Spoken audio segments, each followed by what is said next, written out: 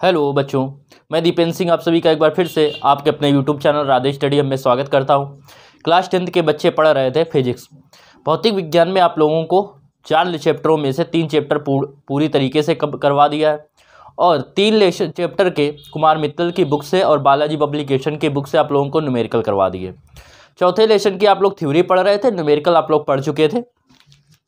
Theory में आप लोगों ने एक लेक्चर इसका पढ़ चुका है, अब सेकेंड लेक्चर की बात करते हैं। सेकेंड लेक्चर में देखिए आपको, बताने जा रहे हैं कि वैद्युत क्षेत्र क्या होता है। सॉरी चुंबकीय क्षेत्र। चुंबक में पढ़ रहे हैं ना तो बात करते हैं चुंबकीय क्षेत्र की, कि चुंबकीय क्षेत्र क्या होता है। तो देखो, चुंबकीय क्षेत्र की बात करें कि चुंबकीय क्षेत्र क्या होता है तो देखो, समझेंगे। आप सभी को पता है कि यदि एक क्या है, चुंबक है। क्लियर तो चुंबक में क्या होता है कि इसके चारों ओर एक लिमिट दूरी तक। एक इसका एक एरिया होगा जहाँ तक कोई चुंबकीय पदार्थ जैसे लोहा आदि क्या करेगा? वह चुंबकीय आकर्षण या प्रतिकर्षण के बल का अनुभव करेगा। अर्थात ये अगर चुंबक है, इसके द्वारा एक लिमिट दूरी तक तो ये चुंबकीय पदार्थ को आकर्षित करेगा। उससे अधिक दूरी पर यह आकर्षित नहीं करेगा। अर्थात वहाँ पर इसका प्रभाव नहीं होगा। तो किसी चुंबक के चारों ओर एक छिद, जैसे कि चुंबक रखा हुआ है यहाँ, अब यहाँ से हम कुछ काफ़ी दूरी पर रख दें दूसरा चुंबक, या चुंबक के कोई पदार्थ रख दें, लोहे की छड़ या कील कोई तो क्या वो इसको आकर्षित या प्रतिकर्षित करेगा? नहीं करेगा। इसके समीप रखें, तब तो ये करेगा। जैसे जैसे दूरी बढ़ती जाएँगे तो क्या होगा? इसका प्रभाव कम होता जाता है। चुंबक में आप सभी ने प्रयोग किया होगा, देखा होगा। तो क्या होता है कि एक चुंबक के चारों ओर एक क्षेत्र होता है। चुंबक के चारों ओर एक क्षेत्र होता है, चुंबक के चारों ओर का वह क्षेत्र, जहाँ कोई चुंबकीय पदार्थ क्या करता है? चुंब, आकर्षण या प्रतिकर्षण के बल का अनुभव करता है। किसी चुंबक के चारों ओर का वह क्षेत्र, जहाँ कोई चुंबकीय पदार्थ आकर्षण या प्रतिकर्षण के बल का अनुभव करता है, क्या कहलाता है? चुंबकीय क्षेत्र अथवा चुंबकीय बल क्षेत्र कहलाता है। इसे क्या कहते हैं? चुंबकीय क्षेत्र अथवा चुंबकीय बल क्षेत्र कहते हैं। ये तो बात हो गई किसकी? चुंबकीय क्षेत्र की। अब बात करते हैं चुंबकीय क्षेत्र की तीव्रता की। फिगर नहीं बनाना है, हेडिंग डालनी है चुंबकीय क्षेत्र। स्क्रीन में जो आपको डिफिनीशन लिखी थी, वो आपको डिफिनीशन लिखनी है। इसके बाद अगली जो हेडिंग डालनी है आपको, वो डालनी है चुंबकीय क्षेत्र की तीव्रता। अगली हेडिंग डालेंगे आप लोग चुंबकीय क्षेत्र की तीव्रता। अब देखिए न्यूमेरिकल में आप लोगों को एक फार्मूला बताया था कि एफ़ इक्वल जो होता है, एक फार्मूला एफ़ बराबर बताया था I B L sine theta जहाँ बताया था आई चालक तार में प्रवाहित वैद्युत धारा है बी चुंबकीय क्षेत्र है एल तार की लंबाई है एफ़ उस पर कार्य करने वाला बल है, और थीटा क्या है? कोण है। ठीक है? अब देखो क्या बात करें कि यदि हम क्या करें, यहाँ से हम बी की वैल्यू निकालें बी इक्वल तो बी का जब मान निकालेंगे तो यफ अपॉन आ जाएगा, ये I L sine theta multiply में तो डिवाइड में हो जाएगा आई एल साइन थीटा ये हो गया डिवाइड में. क्लियर यहाँ से यदि हम थीटा कर दें नाइन्टी डिग्री यदि थीटा हो जाए नब्बे अंश. फार्मूला परिभाषा बना रहे हैं, समझना कैसे बनेगी? थीटा हो गया नब्बे अंश तो साइन नाइन्टी का मान क्या होता है? तो साइन नाइन्टी थीटा मतलब साइन नाइन्टी और साइन नाइन्टी का मान हो गया वन। ये हो गया पूरा वन। मतलब चालक तार क्या है? चुंबकीय क्षेत्र के लंबवत रखा है। तभी थीटा क्या होगा? तभी थीटा तो होगा ज़ीरो नब्बे। आई हमने मान लिया, उसमें प्रवाहित वैद्युत धारा मान ली एक एम्पियर। मतलब एकांक धारा प्रवाहित हो रही, क्या हो रही? एकांक या एक एम्पियर की वैद्युत धारा प्रवाहित की जाए। और एल जो ले लिया, वो भी ले लिया एक मीटर मतलब एकांक लंबाई का तार। है समझे? चालक तार को चुंबकीय क्षेत्र के लंबवत रखा गया। उसमें एकांक धारा प्रवाहित हो रहे मतलब एक एम्पियर की धारा है। और लंबाई भी कितनी है? एक मीटर, अर्थात एकांक लंबाई है। तो जब ये तीनों एक हो गए तो बी बराबर किसके हो गया? एप के। बी बराबर एप के। मतलब ये कार्य करने वाले बल के बराबर हो जाएगा। चालक तार पर या धारावाही चालक तार पर कार्यरत बल के बराबर होगा। अब डिफिनीशन कैसे देंगे चुंबकीय क्षेत्र की तीव्रता की? समझिए। यदि एकांक लंबाई के चालक तार को, एकांक लंबाई लंबाई कितनी ली गई है एक? इससे केवल डिफिनीशन बनाना है। रफ में नोट करना चाहो तो नोट कर लेना। फेयर में जो आपको स्क्रीन में डिफिनीशन लिखी है उसी को लिखना है। समझना आपको टोटली यहाँ से और कोशिश करना है कि लेक्चर के दौरान ही सारी परिभाषाएँ लर्न हो जाए। कोशिश हम पूरी करेंगे। यदि आप ध्यान से पढ़ते हैं तो आपको सारी की सारी डेफिनेशन यहीं पे याद हो जाएँगी। अब देखिए, यहाँ पे ध्यान दीजिए। तो क्या हुआ कि एकांक लंबाई के चालक तार को चुंबकीय क्षेत्र के लंबवत रखने पर एकांक एम्पियर की या एक एम्पियर की उसमें धारा प्रवाहित हो रही हो, यह की जाए। यदि एक मीटर लंबे चालक तार को या एकांक लंबाई के चालक तार को चुंबकीय क्षेत्र के लंबवत रखने पर। ध्यान समझना एकांक लंबाई के चालक तार को, रिपीट करो साथ में एकांक लंबाई के चालक तार को चुंबकीय क्षेत्र के लंबवत रखने पर, उसमें एक एम्पियर की वैद्युत धारा प्रवाहित हो, उसमें एक एम्पियर की वैद्युत धारा प्रवाहित की जाए तो उस पर कार्य करने वाला बल चुंबकीय क्षेत्र की तीव्रता कहलाता है। बल ही तो क्या कह रहा है? चुंबकीय क्षेत्र की तीव्रता कहलाता है। समझ में आई बात? फिर से समझिए, एक बार रिपीट कीजिए। एकांक लंबाई के धारावाही चालक तार को, या एकांक लंबाई के चालक तार को चुंबकीय क्षेत्र के लंबवत रखने पर, उसमें यदि एक एम्पियर की वैद्युत धारा प्रवाहित की जाए, या प्रवाहित हो रही हो तो उस पर कार्य करने वाला बल चुंबकीय क्षेत्र की तीव्रता कहलाता है। चुंबकीय क्षेत्र की तीव्रता कहलाता है। यह कार्य करने वाले बल को ही क्या कहते हैं? चुंबकीय क्षेत्र की तीव्रता कहते हैं। अब यहाँ से इसके मात्रक की बात करें तो देखो एब का मात्रक होता है न्यूटन। यहाँ से निकालना है मात्रक। एब का मात्रक हो गया न्यूटन, इसका मात्रक होता है एम्पियर आई का। तो अपॉन में है तो अपॉन में। आई का एम्पियर और एल का क्या दे रहा है? मीटर होता है। तो इसका मात्रक न्यूटन प्रति एम्पियर मीटर या वेबर प्रति मीटर स्क्वायर। इनको कुछ नहीं नोट करना है आपको। केवल आपको ये स्क्रीन में लिखा है, वही नोट करना है। बस ये समझाने के लिए था, कैसे परिभाषा याद करेंगे। वेबर प्रति मीटर स्क्वायर या टेस्ला या टेस्ला। ये तीनों आपस में बराबर होते हैं।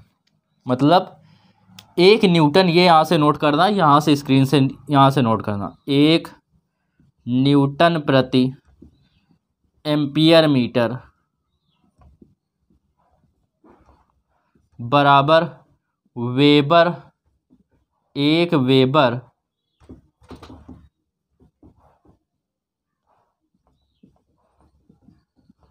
प्रति मीटर स्क्वायर बराबर एक टेस्ला के। अर्थात ये तीनों आपस में क्या होते हैं? बराबर। इसका एक अन्य मात्रक भी होता है, उसको बोलते हैं गॉस। क्या होता है? गॉस। और एक गॉस बराबर होता है दस की घात माइनस के चार टेस्ला के। एक गॉस बराबर दस की घात माइनस के चार टेस्ला के।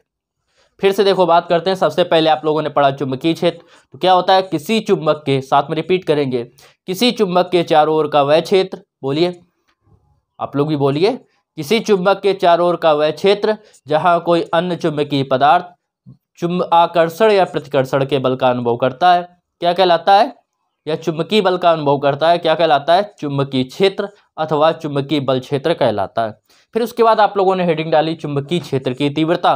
तो इसको आपको बताया कि एकांक लंबाई के चालक तार में यदि एकांक लंबाई के चालक तार को चुंबकीय क्षेत्र के लंबवत रखने पर 90 डिग्री का मतलब लंबवत लंबवत रखने पर यदि उसमें एक एम्पियर की वैद्युत धारा प्रवाहित हो रही हो या प्रवाहित की जाए तो उस पर कार्य करने वाला बल ही, उस पर कार्य करने वाला चुंबकीय बल या बल ही क्या कहलाता है? चुंबकीय क्षेत्र की तीव्रता कहलाती है। इसका मात्रक इसे बी से प्रदर्शित करते हैं। इसका मात्रक न्यूटन प्रति एम्पियर मीटर ये फार्मूले आपके आगे ड्राइव होंगे। न्यूमेरिकल में आपको ये बताए भी थे। न्यूटन प्रति एम्पियर मीटर या वेबर प्रति मीटर स्क्वायर या टेस्ला है। और एक, ये तीनों आपस में क्या होते हैं? बराबर होते हैं। एक टेस्ला बराबर, इसका एक अन्य मात्र गॉस भी है। एक गॉस बराबर दस की घात माइनस चार टेस्ला या एक टेस्ला बराबर दस की घात प्लस के चार गॉस के। क्लियर बच्चों? तो ये आ गया आपको समझ में? अब देखिए इसको।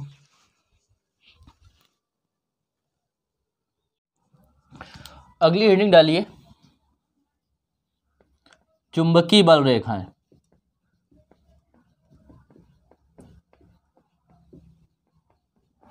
चुंबकीय बल रेखाएँ अथवा चुंबकीय क्षेत्र रेखाएँ अब देखो, समझिए कि चुंबकीय बल रेखाएँ क्या होती हैं, अथवा चुंबकीय क्षेत्र रेखाएँ क्या होती है, इनको समझने की कोशिश करेंगे। देखो, होता क्या है कि जैसे क्या ये मैग्नेट है, ठीक? कंपास सुई के बारे में पहले लेक्चर में आप लोगों को बताया था। जिन जिन बच्चों ने अभी तक पहला लेक्चर नहीं देखा है, सबसे पहले वो पहला लेक्चर देखें, उसके बाद ये लेक्चर देखें तो और अच्छे से समझ में आएगा। अब देखो, कंपास सुई की बात करें तो देखो, कंपास सुई क्या होती है? आपको बताया था कि एक ऐसे क्या होता है? एक डिब्बी होती है और जिसमें क्या होता है? कंपास सुई इस प्रकार लगी होती है सुई लगी होती है। जब इसको चुंबकीय क्षेत्र में रखते हैं या चुंबक के समीप रखते हैं तो इस सुई पर एक बला घुणारोपित हो जाता है, जिसके कड़े निश्चित दिशा में ठहरती है। अब देखो, होता क्या है कि जैसे हमने क्या किया, ये था नॉर्थ, ये था साउथ। यहाँ पे इस कोने पे रखा चुंबकीय सुई को तो ये ऐसे गई, ऐसे ठहरी। तो हमने यहाँ पे एक पॉइंट बना लिया क्लियर फिर यहाँ से इस चुंबकीय सुई को, ऐसे कंपास सुई को उठाया और फिर इसको ऐसे रखा, ऐसे, कि इसकी पूछ यहाँ पे आए। ये आपको जब आप अपने स्कूल की लैब में पढ़ेंगे, जाएँगे तो इसको करवाया जाएगा। इस प्रकार हुई। तो यहाँ पे एक बिंदी लगा दी। फिर इसके बाद क्या किया कि यहाँ पे इसको यहाँ पे ऐसे रखा कंपास सुई को। तो देखा ये कुछ इस टाइप से ठहर रही थी। तो यहाँ पे बिंदी लगा दिया। फिर इसको यहाँ से उठाएँगे और कंपास सुई को आप यहाँ पे रखेंगे। पूछ इस तरफ़ और इसका सिर इस तरफ़। नोक। फिर देखा कि ये यहाँ पे ठहर रही थी, इसको ऐसे लगा दिया। फिर इसको यहाँ पे रखेंगे तो देखा कि ये क्या हो रही थी, ये कुछ इस प्रकार ठहर रही थी मतलब यहाँ पे आ रही थी। अब इस पॉइंट को ऐसे मिला दिया। यहाँ से चालू हुए थे तो ऐसे मिलाया। क्लियर ऐसे ही देखा हर जगह किया तो ये कुछ इस टाइप से सेप बना रही थी। ऐसे। फिर ये ऐसे गई तो ये ऐसे गई। इसी प्रकार, इस तरफ़ जब करके देखा तो उसके आधार पे तो ये इस प्रकार गई। ठीक, ऐसे कुछ इस प्रकार से क्या बनाती है? सेप बनाती है।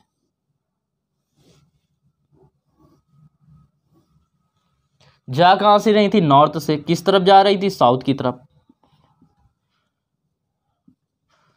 ऐसे कुछ शेप बना देती हैं। और ये ऐसे इसके द्वारा होंगे और एक्चुअल में ये भीतर भी होती हैं ऐसे। वैद्युत बल रेखाएँ धन से निकलकर ऋण में समाप्त हो जाती हैं, जबकि चुंबकीय बल रेखाएँ नॉर्थ से साउथ में जाती हैं और साउथ पोल से भीतर से होते हुए एक दूसरे से मिल जाती हैं। इस प्रकार। ये देखा गया कि ये क्या कर रही थी? चुंबकीय क्षेत्र को प्रदर्शित कर रही थी, वैद्युत बल रेखाएँ। जहाँ ज़्यादा थी, देखा गया चुंबकीय क्षेत्र जहाँ एक चुंबकीय बल रेखाएँ समीप है और अधिक है, वहाँ पे क्या होता है? चुंबकीय क्षेत्र अधिक होता है। और शुरुआत में आपको बताया था कि चुंबक के सिरों के बीच चुंबकीय क्षेत्र क्या होता है? पहले लेक्चर में अधिक होता है। चुंबक से दूर जाने पर इनकी देख रहे हैं कि जो दूरी है, वो बढ़ती जा रही। तो इसका मतलब जब चुंबक से दूर जाते हैं तो चुंबकीय क्षेत्र भी क्या हो जाता है? कम होता जाता है। इस आधार पर चुंबकीय बल रेखाओं का नाम दी, बनाई गई। ये काल्पनिक रेखाएँ होती हैं। हमें चुंबक के चारों ओर दिखती नहीं है। होती हैं, लेकिन काल्पनिक होती हैं। वास्तव में ये नहीं दिखाई देती। तो इसलिए चुंबकीय बल रेखाओं को की परिभाषा में लिखेंगे चुंबकीय बल रेखाएँ। वे काल्पनिक रेखाएँ हैं।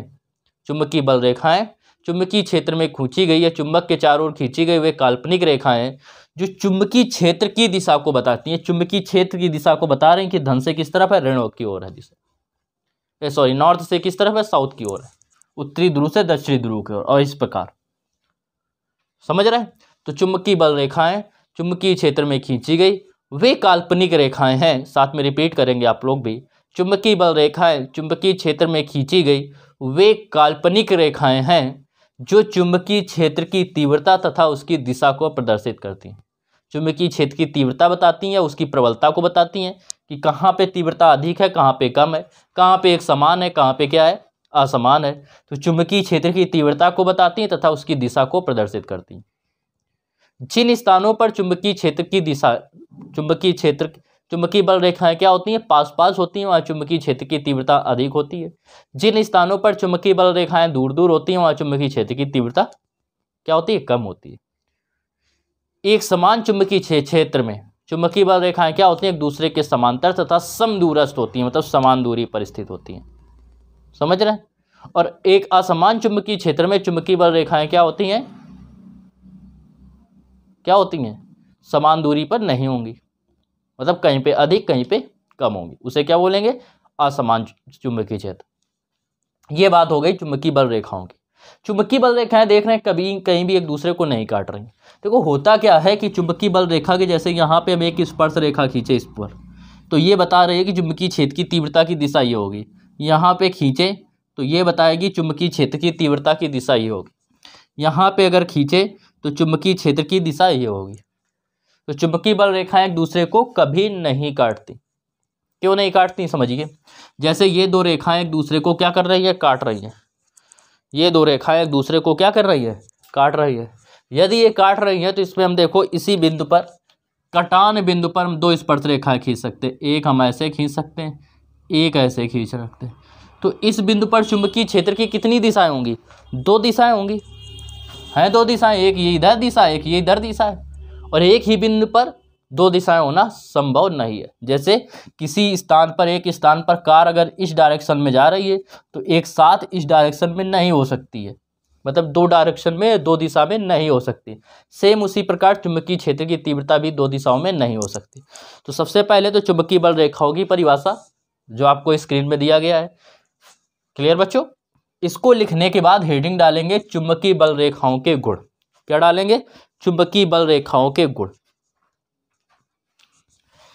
इनको चुंबकीय क्षेत्र रेखाएँ भी कहते हैं। चुंबकीय बल रेखाओं को चुंबकीय क्षेत्र रेखाएँ भी कहते हैं। हेडिंग डालिए चुंबकीय बल रेखाओं के गुण।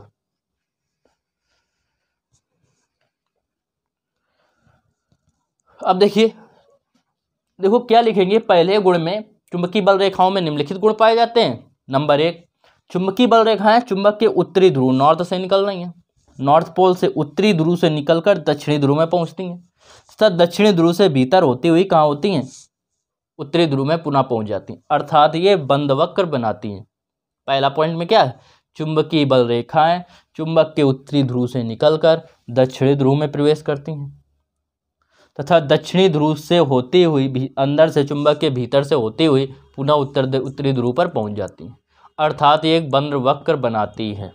पहला पॉइंट दूसरा लिखेंगे कि क्या होगा? चुंबकीय बल रेखा के किसी भी बिंदु पर खींची गई स्पर्श रेखा उस बिंदु पर, बताया? किसी भी बिंदु पर खींची गई स्पर्श रेखा उस बिंदु पर चुंबकीय क्षेत्र की दिशा को व्यक्त करती है। ये हो गया सेकेंड पॉइंट थर्ड पॉइंट चुंबकीय बल रेखाएँ कभी भी एक दूसरे को नहीं काटती। ठीक है, चुंबकीय बल रेखाएँ कभी भी एक दूसरे को नहीं काटती। यदि काटती तो कटान बिंदु पर दो स्पर्श रेखाएँ खींची जा सकती, जो चुंबकीय क्षेत्र की दो दिशाएँ प्रदर्शित करती और जो कि क्या है असंभव है, समझा चुके हैं आपको पहले। फिर इसके बाद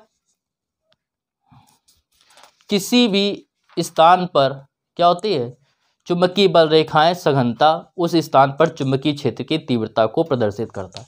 या चुंबकीय बल रेखाओं की जो संख्या होती है, उस बिंदु पर चुंबकीय क्षेत्र की दिशा को प्रदर्शित करती है। जहाँ इनकी संख्या अधिक और ये पास पास होंगी मतलब सघन होंगी डेंसिटी अलग अधिक होगी तो वहाँ पे चुंबकीय क्षेत्र क्या होगा? अधिक होगा। जहाँ चुंबकीय बल रेखाओं की संख्या क्या होगी? कम होगी या ये दूर दूर होंगी तो उसे वहाँ पे चुंबकीय क्षेत्र की तीव्रता क्या होगी? कम होगी। ठीक है? एक समान चुंबकीय क्षेत्र में चुंबकीय बल रेखाएँ परस्पर समांतर होती हैं, आपको समझा चुके और क्या होता है? बराबर तथा बराबर दूरियों पर होती हैं। तो ये हो गई किसकी? चुंबकीय बल रेखाओं के गुण की, चुंबकीय बल रेखाओं की परिभाषा। उम्मीद करते हैं बच्चों, समझ में आ गया होगा। फिगर, चुंबकीय बल रेखाओं में ये बनाना है तो चुंबकीय बल रेखाओं में ये फिगर बना लेना।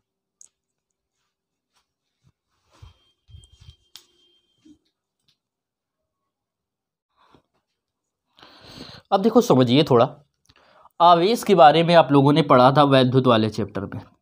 आवेश को क्यू से प्रदर्शित करते हैं या कैपिटल क्यू से भी प्रदर्शित करते हैं? ये अभी क्या है, विराम में आवेश है, रेट रेस्ट पे है, गति नहीं कर रहा है। जब ये गति नहीं कर रहा है तो आपको पता है कि जब विराम में आवेश होता है, विराम आवेश या स्थिर अवस्था में आवेश, करंट को वैद्युत धारा को उत्पन्न नहीं करता। बात समझना, ये वैद्युत धारा को उत्पन्न नहीं करता। क्योंकि क्योंकि आई बराबर पड़ा है Q upon T small T समय में जितना आवेश प्रवाहित होगा, बात को समझना, इसको कहता है कि जितना आवेश प्रवाहित होगा। प्रवाहित होगा मतलब जितना गति करेगा, बहेगा, जल प्रवाहित हो रहा है, उसी प्रकार आवेश प्रवाहित होगा। उसे वैद्युत धारा कहते हैं। तो जब आवेश गति करता है मोशन में होता है, तब क्या प्रवाहित होती है? तब होती है वैद्युत धारा प्रवाहित होती है। मतलब विराम आवेश वैद्युत धारा उत्पन्न नहीं करता और वैद्युत धारा समझ में आ गई? तो ये हो गई बात। स्थिर आवेश या विराम आवेश क्या उत्पन्न करेगा? वैद्युत क्षेत्र उत्पन्न करेगा। क्लियर और गतिमान आवेश भी वैद्युत क्षेत्र उत्पन्न करेगा। लेकिन विराम आवेश वैद्युत धारा उत्पन्न नहीं करेगा। गतिमान आवेश ही वैद्युत धारा उत्पन्न करेगा, विराम आवेश नहीं। तो ये विराम आवेश था मतलब ना तो वैद्युत धारा प्रवाहित हो रही थी। तब देखा गया इसके चुंबक, इसके चारों तरफ़ कहीं भी चुंबकीय सुई या कंपास सुई रखा जाए तो उस पर कोई प्रभाव नहीं पड़ता। और प्रभाव कहाँ पड़ता है? कंपास सुई पर जहाँ चुंबकीय क्षेत्र होता है। तो यहाँ पे कोई प्रभाव नहीं देखा गया। इसके बाद क्या हुआ कि जब ये आवेश गति करने लगा मतलब मोशन में आ गया, गति कर रहा है। और जब गति करेगा तो क्या होगी प्रवाहित? जब गति करेगा आवेश तो क्या होगा? वैद्युत धारा उत्पन्न होगी। वैद्युत धारा। मतलब जब चालक तार में वैद्युत धारा प्रवाहित होने लगी। चालक में क्या करेगा? गति करेगा। चालक में जब एक गति करने लगा, अर्थात वैद्युत धारा प्रवाहित होने लगी, तब एक चुंबकंपास सुई को रखा गया तो देखा गया वो क्या हो रही है? एक निश्चित दिशा में विक्षेपित हो रही अर्थात वो उसी प्रकार बिहेव कर रही है, व्यवहार कर रही है, जैसे किसी चुंबक के या छड़ चुंबक के समीप रखने पर। तो इससे पता चला कि धारावाही चालक तार मतलब जब किसी चालक तार में वैद्युत धारा प्रवाहित की जाती है तो क्या होता है? उस पर चुंबकीय क्षेत्र भी उत्पन्न हो जाता है। इसी को कहते हैं धारावाही चालक के कारण उत्पन्न चुंबकीय क्षेत्र। अब देखो इसको डिफिनीशन कैसे लिखेंगे? कि जब किसी चालक तार में वैद्युत धारा प्रवाहित की जाती है, क्या लिखेंगे?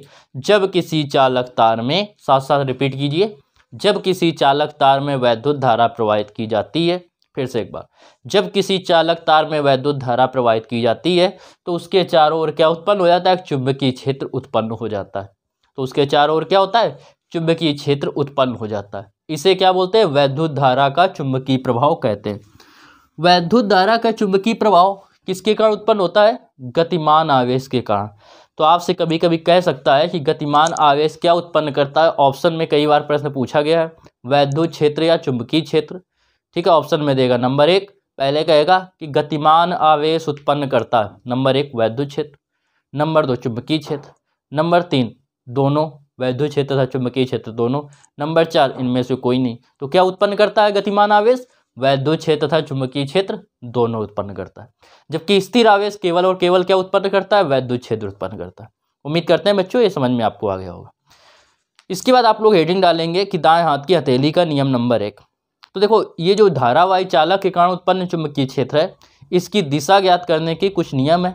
नंबर एक है दाएँ हाथ की हथेली, दाएँ हाथ के अंगूठे का नियम। अब देखो दाएँ हाथ के अंगूठे का नियम समझिए।